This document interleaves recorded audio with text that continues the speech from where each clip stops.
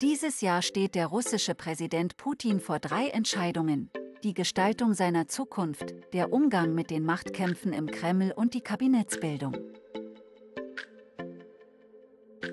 Dies geht aus einer Analyse von Tatjana Stanowaja hervor, einer Politologin und leitenden Wissenschaftlerin bei der renommierten Carnegie Stiftung für internationalen Frieden. Zunächst müsse Putin sich festlegen, ob er dieses Jahr zur Wiederwahl antritt.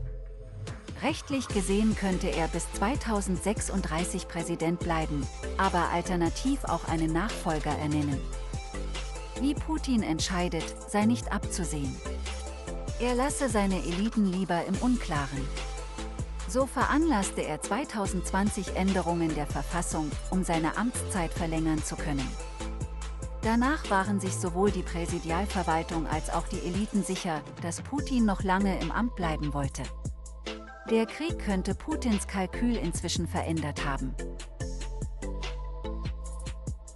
Aber da Putin politische Deserteure verachtet, die in schwierigen Zeiten ihre Ämter aufgeben, wird er wohl kaum einer werden. Zweitens müsse Putin entscheiden, ob er die Wogen zwischen den elitären Gegnern und Befürwortern einer Kriegseskalation glätten will. Die Meinungsverschiedenheiten in diesem Fall zu unterdrücken, komme für den Kreml nicht in Frage. Schließlich wären die Loyalisten des Regimes davon betroffen.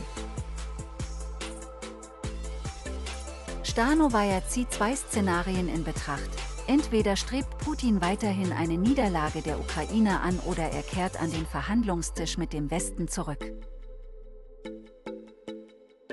Drittens steht Putin vor personellen Veränderungen in seinem Kabinett, da hochrangige Beamte durch den Krieg erschöpft seien und Spannungen innerhalb des Kabinetts herrschen. Dies zwinge Putin zu neuen Ansätzen. Wahrscheinlich werde er mehr Technokraten ins Amt holen, aber dabei ein Gleichgewicht zwischen Stabilität und Erneuerung finden.